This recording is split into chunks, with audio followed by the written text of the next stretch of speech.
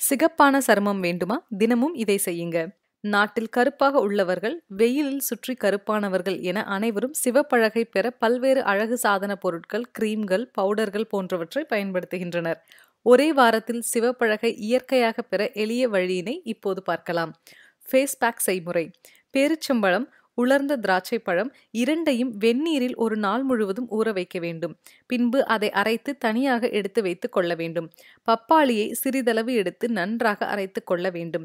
முதலில் தயார் செய்த கலவையையும் இப்போது தயாரித்த கலவையையும் ஒன்றாக கலந்து கொள்ள வேண்டும். பிறகு அந்த கலவையை முகத்தில் நன்றாக தேய்த்து கொள்ள வேண்டும். முப்பது நிமிடம் கழித்து அந்த கலவையை முழுவதுமாக காய்ந்த பின்பு முகத்தை கழுவினால் போதும்.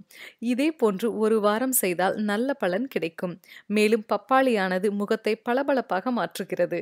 மேலும் இது போன்ற பல பயனுள்ள தகவல்களை பெற இந்த சேனலை சப்ஸ்கிரைப் செய்யுங்க.